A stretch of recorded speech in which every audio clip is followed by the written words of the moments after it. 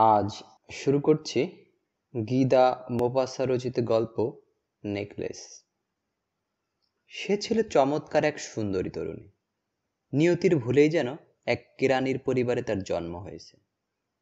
তার ছিল না কোনো আনন্দ, কোনো আশা। পরিচিত হবার, প্রশংসা পাওয়ার, প্রেম লাভ করার এবং কোনো ধনী অথবা বিশিষ্ট লোকের সঙ্গে বিবাহিত হওয়ার কোনো উপায় তার ছিল না।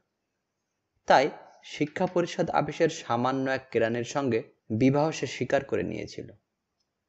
নিজেকে সজ্জিত করার অক্ষমতার জন্য সে সাধারণভাবেই থাকত। কিন্তু তার শ্রেণির অন্যতম হিসেবে সে ছিল অসুখী। তাদের কোনো জাতিবর্ণ নেই, কারণ জন্মের পর পরিবার থেকেই তারা শ্রী সৌন্দর্য ও মাধুর্য সম্পর্কে সজাগ হয়ে ওঠে।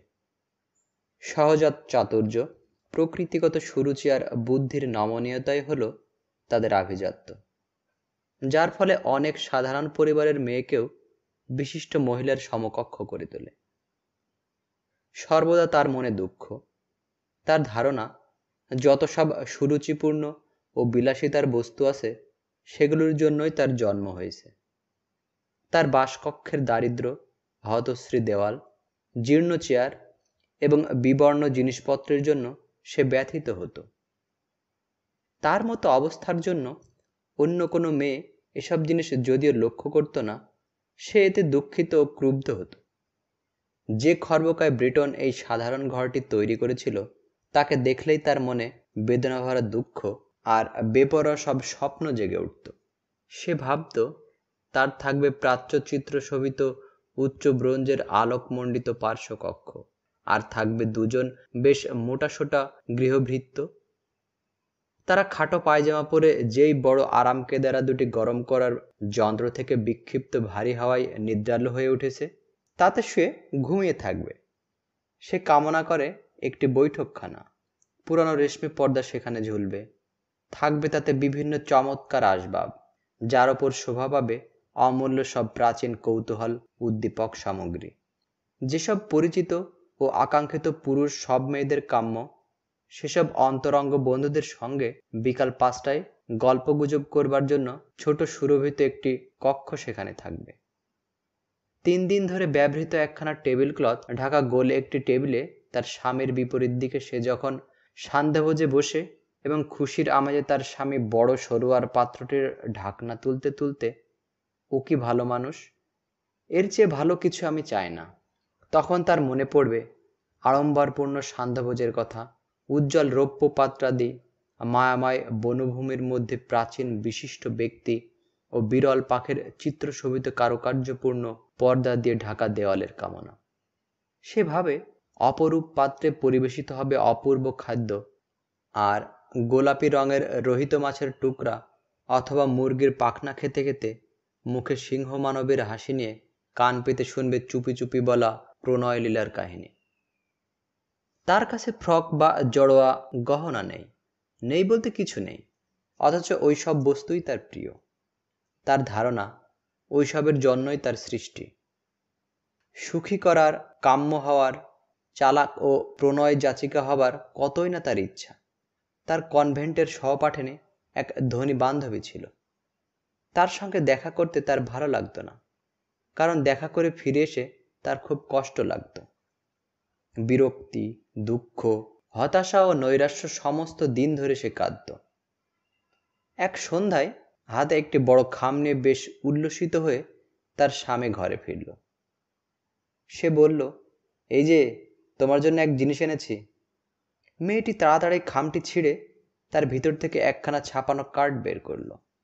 তাতে নিচের কথাগুলি মুদ্রিত ছিল। জনশিক্ষা মন্ত্রী ও মাদাম জর্জ রেম্পন্য আগামী আঠারোই জানুয়ারি সন্ধ্যায় তাহাদের নিজ বাসগৃহে মসিয়ে ও মাদাম লেইসলের উপস্থিতি কামনা করেন।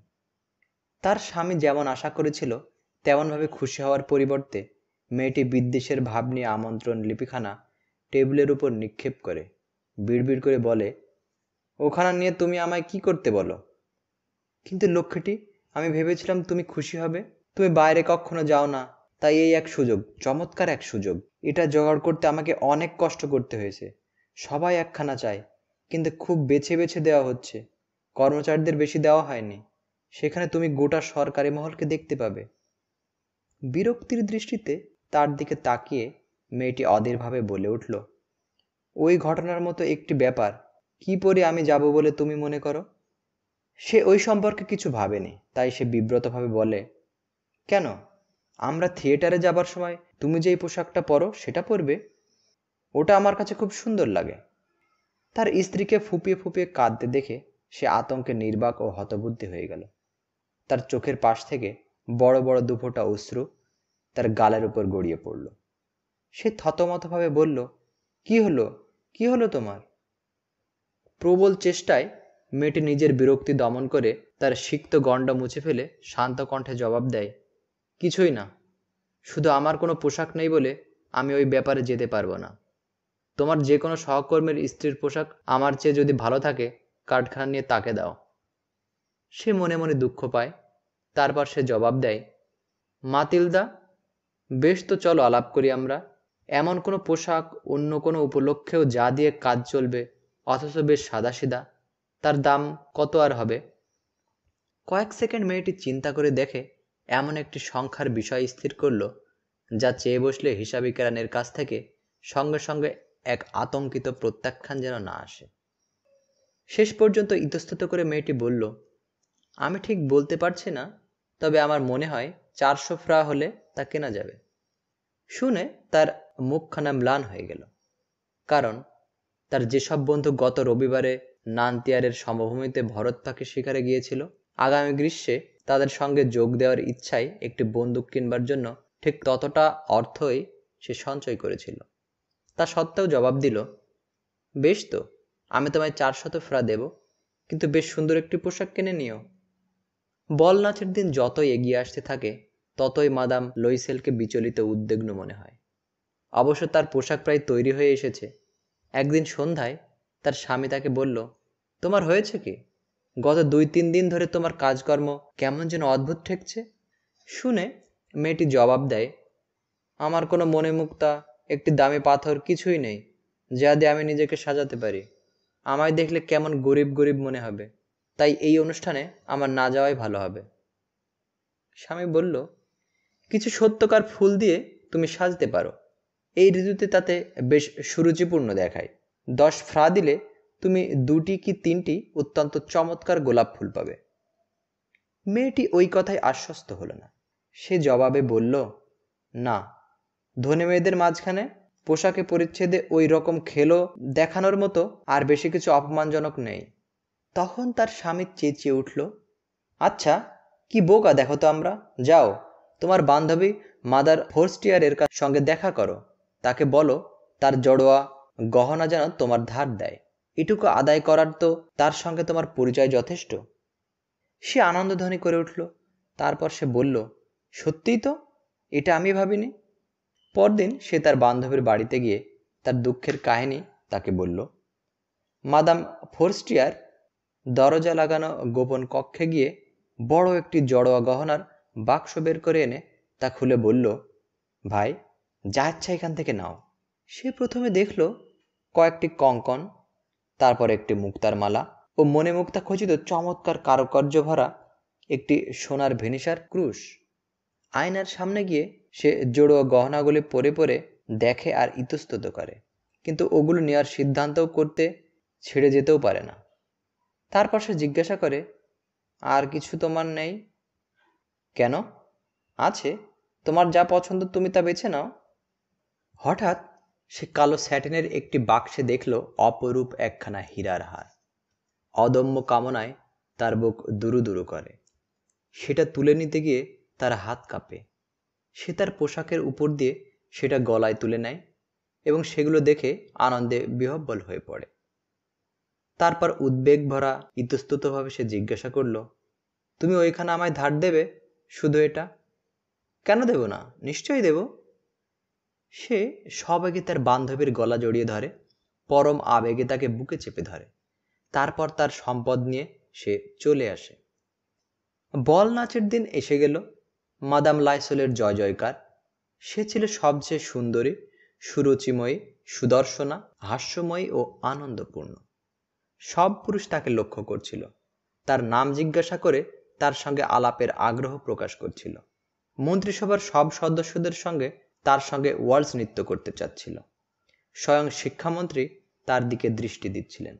আনন্দে মত্ত হয়ে আবেগ ও উৎসাহ নিয়ে সে নৃত্য করছিল। তার রূপের বিজয় গর্বে, সাফল্যের গৌরবে সে আর কিছুই ভাবে না। এক আনন্দের মেঘের উপর দিয়ে যেন ভেসে আসছিল এই সব আহুতি ও মুগ্ধতা আর জাগ্রত সব কামনা।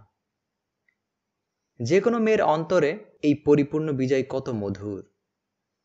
ভোর চারটার দিকে সে বাড়ি ফিরে গেল। অন্য সেই তিনজন ভদ্রলোকের স্ত্রী খুব বেশি ফুর্তিতে মত্ত ছিল। তাদের সঙ্গে তার স্বামী ছোট একটি বিশ্রাম কক্ষে মধ্যরাত্রি পর্যন্ত আধ ঘুমে বসেছিল।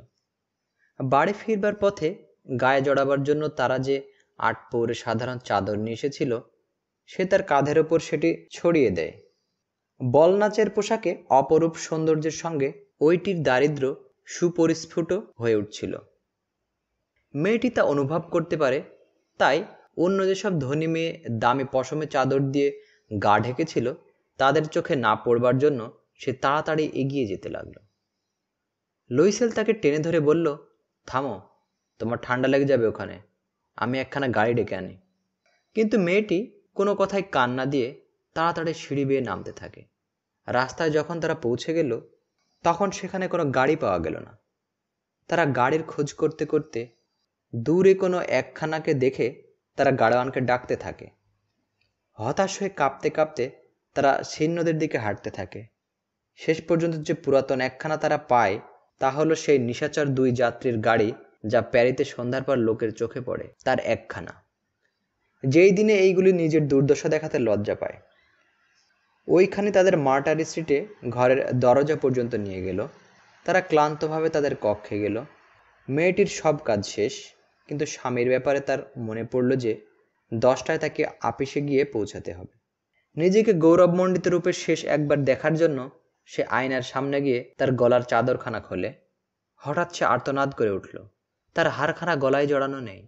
তার স্বামীর পোশাক তখন অর্ধেক মাত্র খোলা হয়েছে।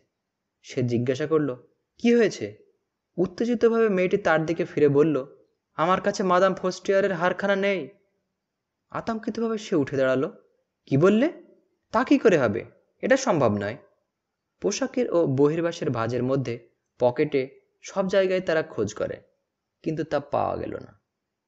স্বামী জিজ্ঞাসা করল, ওই বাড়ি থেকে চলে আসবার সময় তা যে তোমার গলায় ছিল? তোমার ঠিক তা মনে আছে? হ্যাঁ আমরা যখন বিশ্রাম কক্ষ দিয়ে বেরিয়ে আসছিলাম, তখনও তা ছিল আমার খেয়াল আছে। কিন্তু তুমি যদি ওটা রাস্তায় হারাতে, ওটা পড়বার শব্দ আমাদের শোনা উচিত ছিল। গাড়ির মধ্যে নিশ্চয়ই পড়েছে মনে হয়। হ্যাঁ সম্ভবত তাই।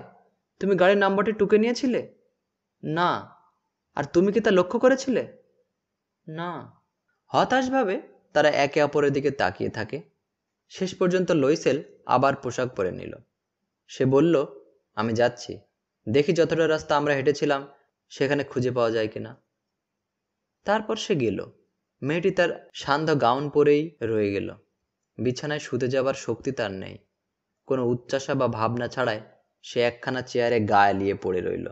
সকাল সাতটার দিকে তার স্বামী ফিরে এলো। কিছুই সে খুঁজে পায়নি।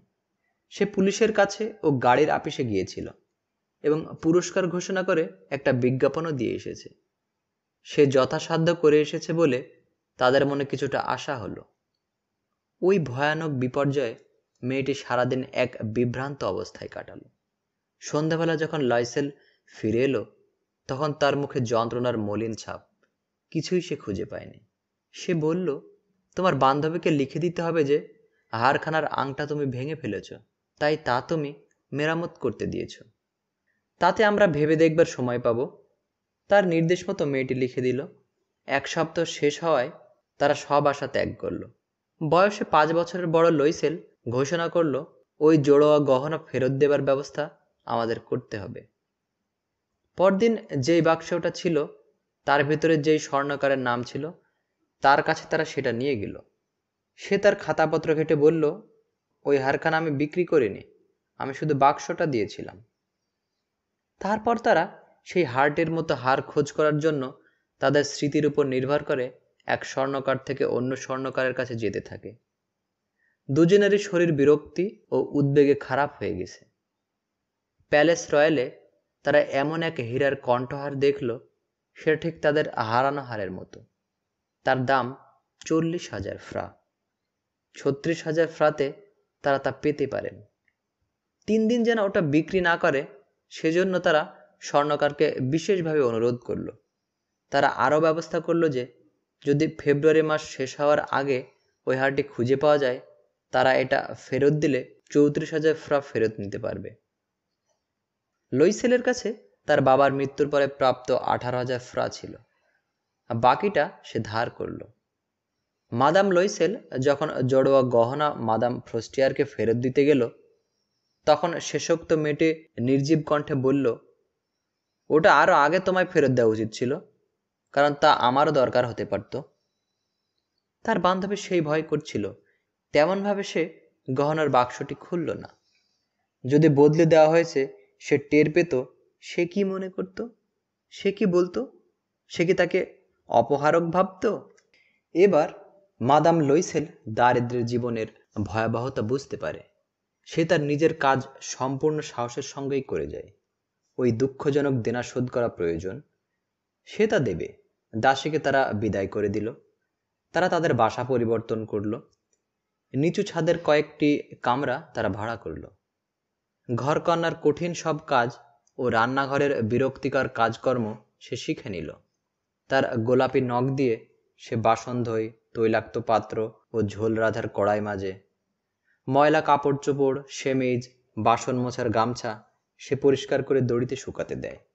রোজ সকালে সে আবর্জনা নিয়ে রাস্তায় ফেলে। সিঁড়ির প্রত্যেক ধাপে শ্বাস নেবার জন্য থেমে থেমে সে জল তোলে। সাধারণ পরিবারের মেয়ের মতো পোশাক পরে। সে হাতে ঝুড়ি নিয়ে মুদি কষায় ও ফলের দোকানে যায় এবং তার দুঃখের পয়সার একটির জন্য পর্যন্ত দর কষাকষি করে। প্রত্যেক মাসেই সময় চেয়ে কিছু দলিল বদল করতে হয়, কাউকে কিছু শোধ দিতে হয়। তার স্বামীও সন্ধ্যাবেলা কাজ করে। সে কয়েকজন ব্যবসায়ীর হিসাবের খাতা ঠিক করে। রাত্রে এক পাতা পাঁচ সাও হিসেবে সে প্রায় লেখা নকল করে। এরকম জীবন দশ বছর ধরে চলল। দশ বছরের শেষে তারা সব কিছু মহাজনের সুদসহ প্রাপ্য নিয়ে সব ক্ষতিপূরণ করে ফেলতে পারে। তাছাড়া কিছু তাদের সঞ্চয়ও হলো। মাদাম লইসেলকে দেখলে এখন বয়স্কা বলে মনে হয়। সে এখন গরিব গৃহস্থ ঘরের শক্ত কর্মট ও অমার্জিত মেয়ের মতো হয়ে গেছে।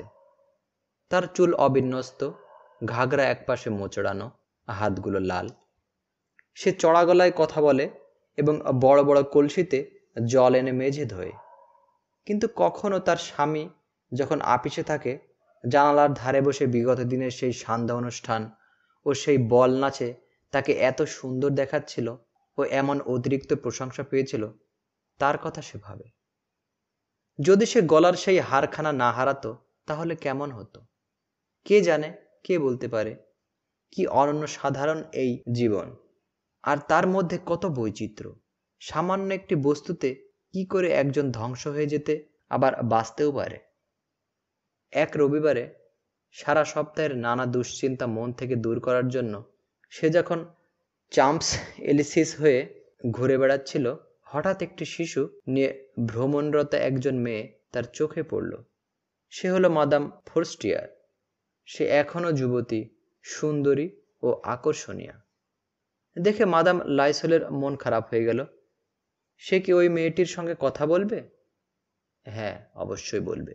তাকে যখন সব শোধ করা হয়েছে, তখন সব কিছু খুলে সে বলবে। কেন বলবে না? সে মেয়েটির কাছে এগিয়ে গিয়ে বলল, সুপ্রভাত, জেনি। তার বন্ধু তাকে চিনতে পারল না। এক সাধারণ মানুষ তাকে এমন অন্তরঙ্গভাবে সম্বোধন করায় সে অবাক হলো। সে বিব্রতভাবে বলল, কিন্তু ম্যাডাম, আপনাকে তো চিনলাম না। বোধহয় আপনার ভুল হয়েছে। না, আমি মাতিলদা লইসেল। তার বান্ধবী বিস্ময়ে চেঁচিয়ে উঠল। বলল হায় আমার বেচারে মাতিলদা এমনভাবে? কি করে তুমি বদলে গেলে? হ্যাঁ তোমার সঙ্গে দেখা হবার পর থেকে আমার দুর্দিন যাচ্ছে। বেশ কিছু দুঃখের দিন গেছে, আর সেটা হয়েছে শুধু তোমার জন্য। আমার জন্য? তা কি করে হলো?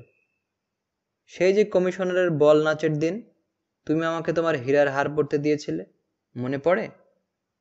হ্যাঁ বেশ মনে আছে। কথা হচ্ছে, সেখানে আমি হারিয়ে ফেলেছিলাম। কি বলছো তুমি? কি করে তা আমায় তুমি আবার ফেরত দিয়েছিলে? ঠিক সেখানকার মতো একটি তোমাকে আমি ফেরত দিয়েছিলাম। তার দাম দিতে দশ বছর লেগেছে। তুমি বুঝতেই পারো, আমাদের মতো লোক যাদের কিছুই ছিল না, তাদের পক্ষে তা সহজ ছিল না। কিন্তু তার শেষ হয়েছে এবং সেজন্য আমি এখন ভালোভাবে নিশ্চিন্ত হয়েছি। মাদাম ফোর্স্টিয়ার তাকে কথার মাঝপথে থামিয়ে বলল, তুমি বলছো যে আমারটা ফিরিয়ে দেবার জন্য তুমি একখানা হীরার হার কিনেছিলে। হ্যাঁ তা তুমি খেয়াল করনি। ও দুটি একরকম ছিল। বলে সে গর্বের ভাবে ও সরল আনন্দে একটু হাসল। দেখে মাদাম ফোস্টিয়ারের মনে খুব লাগল। সে তার দুটি হাত নিজের হাতের মধ্যে নিয়ে বলল, হায়, আমার বেচারি মাতিলদা, আমারটি ছিল নকল, তার দাম পাঁচশত ফ্রার বেশি হবে না।